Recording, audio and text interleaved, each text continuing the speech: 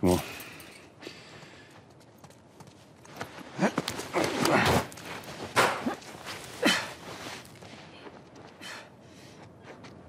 Give me your hand.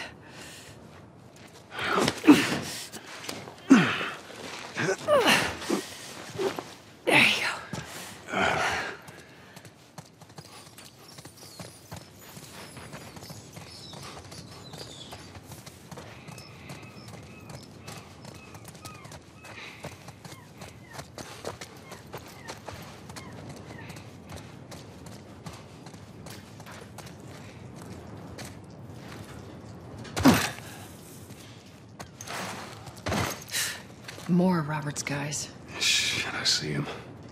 How do you know they're coming? Two of our guys died trying to take Tess out. I guarantee that she and Joel are on their way here right now to get Robert. Jesus. We shouldn't have taken this job.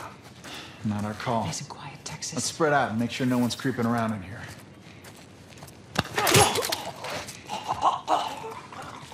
Move up. Move up.